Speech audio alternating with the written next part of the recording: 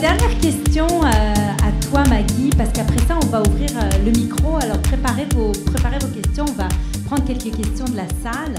Euh, ma dernière question pour toi, Maggie, est en lien, justement, on parlait tout à l'heure de différences culturelles d'un pays à l'autre. Bon, différence entre l'Amérique latine et, et, la France. Maintenant, je veux parler aussi un petit peu du Canada. Comme tu sais, ici au Canada, on a un petit peu de difficulté à suivre les pays d'Europe en termes de nombre de femmes sur les conseils d'administration. Tu sais où je m'en viens, rigole déjà. C'est mon sujet fétiche mon sujet fétiche qui est qu'au Canada, il faut toujours que je le rappelle, je pense qu'il n'y a pas une conférence de la gouvernance au féminin on n'a pas parlé de ça, mais c'est quand même le but euh, de la gouvernance au féminin. La mission est quand même toujours et encore de s'assurer que les femmes avancent suffisamment leur carrière pour être éligibles pour des conseils d'administration. Donc, on rappelle qu'on est à 15,9% de femmes au Canada sur les conseils d'administration.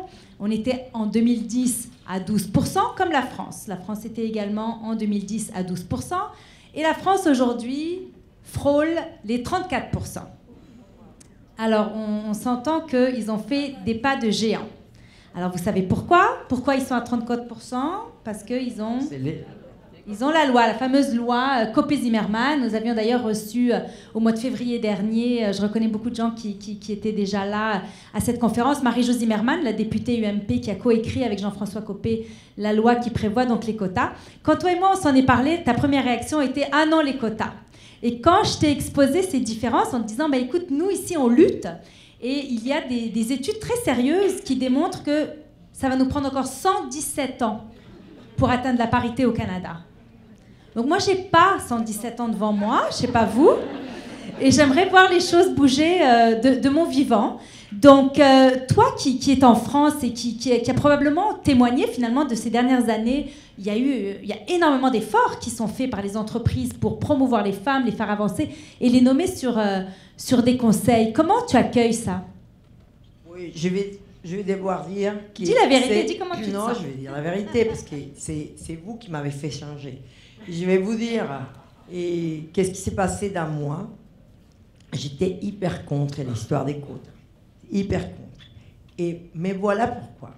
Je dis pourquoi je suis contre l'histoire des quotas Parce que je suis contre l'idée d'imaginer que quand je suis, j'ai fait partie d'une administration d'un conseil.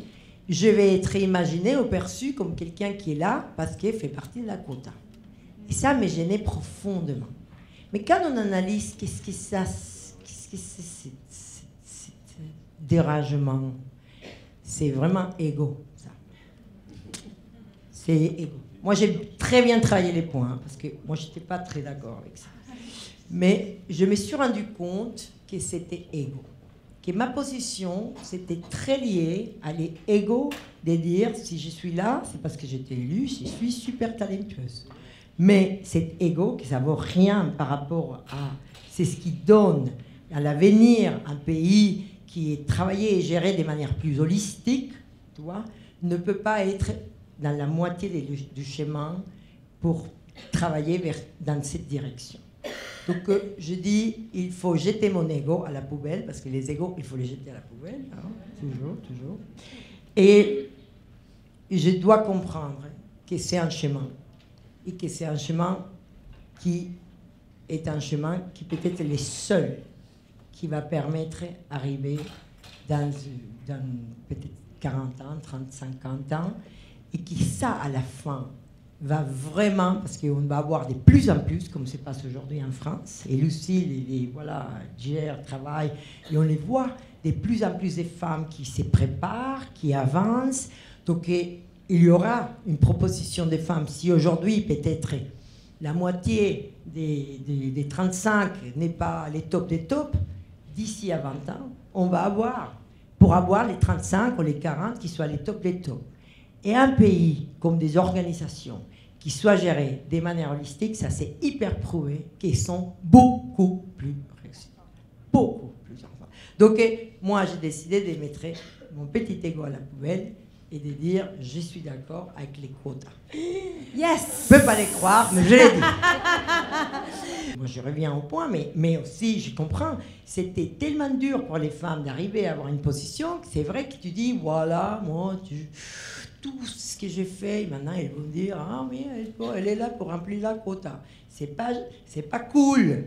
Mais la réalité, c'est qu'il faut laisser de côté cet ego. Si tu es bonne, tu es bonne, tu le montreras. Mais il faut que nous, on soit généreux, généreuse avec les générations qui viennent. On est obligé à laisser l'ego de côté et de vraiment réfléchir à l'importance qu'il y a pour un pays ou qu'il y a pour des organisations d'avoir des équilibres dans la direction.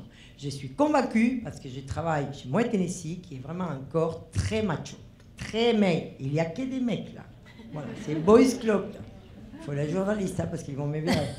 Et voilà. Donc on se rend compte, c'est hyper important. Merci beaucoup, merci à vous tous. Merci Carole.